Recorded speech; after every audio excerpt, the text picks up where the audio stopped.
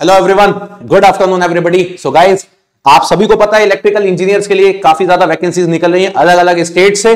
और अगर हम बात करते हैं, चाहे मध्य प्रदेश का इलेक्ट्रिसिटी बोर्ड हो, चाहे हम बात करते हैं उत्तराखंड का इलेक्ट्रिसिटी बोर्ड हो, पंजाब का इलेक्ट्रिसिटी बोर्ड हो, उड़ीसा का इलेक्ट्रिसिटी बोर्ड हो, छत्तीसगढ़ का इलेक्ट्रिसिटी बोर्ड हो, और अब आपके सामने फाइनली बहुत ही प्यारा नोटिफिकेशन आया हुआ है हमारी सारी जनता के लिए। जो कि बिलोंग करती है गुजरात से, यानी कि गुजरात के इलेक्ट्रिसिटी बोर्ड से, गुजरात के विद्युत विभाग से, और नंबर ऑफ़ वैकेंसीज काफ़ी ज़्यादा है। ये नंबर ऑफ़ वैकेंसीज कहीं से भी कहीं तक कम नहीं है। चलिए जरा देख लेते हैं ये क्या चीज़ है। तो जैसे कि जूनियर इंजीनियर को गुजरात के अंदर विद्युत सहायक बोला जाता है, और यहाँ पे आप जूनियर इंजीनियर की ही वैकेंसीज आई हुई है पूरे के पूरे डिस्कॉम्स के अंदर, यानी कि डिस्ट्रीब्यूशन में, और साथ ही साथ में जेट को, यानी कि ट्रांसमिशन में. नंबर ऑफ़ वैकेंसी समझने के पहले ये देख लेते हैं कि कौन बच्चा एलिजिबल है. सबसे पहले क्वालिफिकेशन की बात करता हूँ तो फुल टाइम बी बीटेक होना चाहिए, यानी कि डिप्लोमा वाले बच्चों को यहाँ पर इन्होंने अलाउ नहीं किया है. जैसा कि आपको पता है कि जूनियर इंजीनियर्स के लिए डिप्लोमा ही एक मिनिमम एलिजिबिलिटी होती है बट गुजरात के अंदर अलाउ नहीं किया गया. फुल टाइम बी या तो इलेक्ट्रिकल में होनी चाहिए, या तो बीटेक इलेक्ट्रिकल में होनी चाहिए. मतलब अगर आप इलेक्ट्रिकल इलेक्ट्रॉनिक्स में भी हैं तो भी आप एलिजिबल होंगे. सच यहाँ पे कोई दिक्कत नहीं है. इसके बाद आपको बोला गया है कि 55 प्रतिशत होना चाहिए सातवीं और आठवीं सेमेस्टर के अंदर, या फाइनल ईयर में बिना बैक लगे हुए, यानी बिना एटी के के। सैलरी स्ट्रक्चर के बारे में बोला, पहले साल वो आपको स्टाइपेंड देंगे अड़तालीस हज़ार फोर्टी एट थाउज़ेंड का, जो कि अच्छा है जूनियर इंजीनियर लेवल पे, और दूसरे साल पचास हज़ार रुपए देंगे। लेकिन उसके बाद से फिर आप लोगों का, है ना, इस पर्टिकुलर पे बैंड के अंदर सैलरी मिलेगी, और मुझे ये देख के बड़ा अच्छा लगा कि गुजरात के अंदर जूनियर इंजीनियर की सैलरी काफ़ी बेहतर है as compare to other state forty five thousand आपकी जो सैलरी है, वो बेसिक पे है, जो कि अपने आप में काफ़ी बेहतर है। इसके बाद अगर हम बात करते हैं तो कैंडिडेट्स के पास एक अच्छा नॉलेज होना चाहिए कंप्यूटर ऑपरेशंस का, और इंग्लिश और गुजराती लैंग्वेज पे अच्छा कमांड होना चाहिए। और अगर हम बात करते हैं तो एज लिमिट 35 रखी है रिज़र्व के लिए 40 रखी हुई है।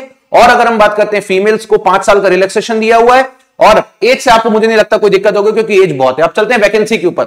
तो जितनी भी हमारी कंपनीज़ हैं, चाहे वो जेटको हो या डीजीवीसीएल हो एमजीवीसीएल हो, यानी कि मध्य गुजरात हो यूजीवीसीएल हो या पीजीवीसीएल हो टोटल वैकेंसी आप देखोगे तो यहाँ पर बहुत ज़्यादा है। जेटको में सबसे ज़्यादा वैकेंसी है 260 78 28 28 और ये कंप्लीट वैकेंसी सिर्फ़ इलेक्ट्रिकल के लिए है, ना मैकेनिकल ना सिविल और अगर हम बात करते हैं टोटल 394 यानी कि अप्रोक्स 400 वैकेंसीज हैं अलग अलग कैटेगरीज में आप लोग देख सकते हो।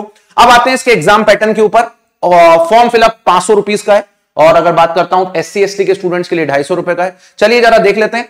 एग्ज़ाम फॉर्म जो स्टार्ट होने वाला है, वो 12 मार्च से होने वाला है और लास्ट डेट जो है, इस एग्ज़ाम की वो मतलब फॉर्म फिलअप की वो एक अप्रैल है। इसके अलावा बात कर लेता हूँ ऑनलाइन एप्लीकेशन फॉर्म आप भरेंगे और एग्ज़ाम जो है, वो आपका ऑनलाइन एग्जामिनेशन है। लेकिन एग्ज़ाम के बारे में जरा समझ लेते हैं। एग्ज़ाम जो है, वो वन डे एग्ज़ाम नहीं है, दो स्टेजेस का एग्ज़ाम है। और दो स्टेजेस मतलब पहले आपका टीयर वन होगा, उसके बाद टीयर टू होगा। टीयर वन में जो बच्चे क्वालिफाई करेंगे, वो टीयर टू में बैठेंगे, ठीक है? चलिए, और टीयर वन में कितने बच्चे क्वालिफाई करेंगे? टीयर वन में मिनिमम 2000 बच्चे क्वालिफाई करेंगे, यानी कि पहले आपको टीयर वन क्लियर करना है। सर टीयर वन कैसा, जरा बताएँगे आप? बिल्कुल मैं बताता हूँ। टीयर वन का इन्होंने सिलेबस के तौर पे एग्ज़ाम पैटर्न दिया है, और इन्होंने यहाँ पे बताया कि जो क्वेश्चन पेपर है, वो आपका बेसिकली इंग्लिश लैंग्वेज में होगा, ठीक है? और मतलब बाकी किसी लैंग्वेज में नहीं है। तो 25 क्वेश्चन आपसे पूछे जाएँगे रीजनिंग के और 25 क्वेश्चन आपसे पूछे जाएँगे क्वांटिटेटिव एप्टीट्यूड के, जो कि काफ़ी इजी आता है जेटको के पेपर में। फिर 15 नंबर की आपकी अंग्रेज़ी रखी इंग्लिश रखी हुई है। इसके बाद बात करते हैं 15 नंबर की गुजराती लैंग्वेज भी इन्होंने दी हुई है। और अगर हम बात करते हैं, वो गुजराती लैंग्वेज का सिलेबस भी दिया हुआ है, आप देख सकते हो, समानार्थी शब्द लिखे हुए हैं। ठीक है, शुद्धि, भाषा शुद्धि, यानी कि आपको बोला जाएगा कि यहाँ पर आपको पर्टिकुलरली किसी पर्टिकुलर सेंटेंस को या किसी वर्ड को उसका शुद्धिकरण करना है। देन अगर हम बात करते हैं तो कुल मिला के सारे शुद्धि, है ना? समुच्च भाग्य और विद्या या समानार्थी शब्द या भाषा शुद्धि ही आपको लिखी हुई है। इसके बाद बात करता हूँ कंप्यूटर नॉलेज तो 20 क्वेश्चन आपके कंप्यूटर नॉलेज के हैं, जो कि बेसिक फंडामेंटल पूछेंगे, ये टीयर वन खत्म होता है। टीयर वन में कोई टेक्निकल नहीं। अब चलते हैं सेकंड टीयर पे। तो टीयर टू में ने बोल दिया, भैया, सौ नंबर का पूरा टेक्निकल पूछेंगे, कोई नॉन टेक नहीं। तो टीयर वन ने इन्होंने नॉन टेक रख दिया टीयर टू उन्होंने टेक्निकल रख दिया, ठीक है? ये आपका पूरा टेक्निकल का सिलेबस है, आप देख सकते हो बढ़िया तरीके से। लेकिन बात यह आती है कि टीयर वन और टीयर टू में बच्चा ये सोचता है बहुत बार कि, सर, मैं काम करता हूँ, पहले टीयर वन तो निकालू, तब तो टीयर टू पढ़ूँगा। टीयर वन को निकालना आसान काम है, कोई बड़ी चीज़ नहीं है। लेकिन बेटा टीयर टू पूरा टेक्निकल है तो जो बच्चा चाहता है जेन्युइन तैयारी करना, वो शुरुआत से अपने आप को टीयर वन और टीयर टू दोनों के लिए लेके चलना, ताकि उसका दोनों क्लियर हो। क्योंकि मुझे नहीं लगता कि टीयर वन और टीयर टू में आपको कोई बहुत ज़्यादा टाइम मिलने वाला है राइट चलिए। तो ये आपके पास यहाँ पे इन लोग ने बता दिया गया है, और जितने भी बच्चे टीयर वन में बैठेंगे, उन सभी बच्चों को उसमें से 2000 बच्चे जो होंगे करीब करीब मिनिमम दो से ज़्यादा ही होंगे 2000 मिनिमम आपके क्वालिफाई करेंगे टीयर टू के लिए और वही बच्चे उनमें से फिर 500 बच्चों 400 बच्चों का सिलेक्शन हो जाएगा। तो ये सारी चीज़ें आप लोगों को यहाँ पे दी हुई। अब आती है बात, क्या अदर स्टेट वाले भर सकते हैं?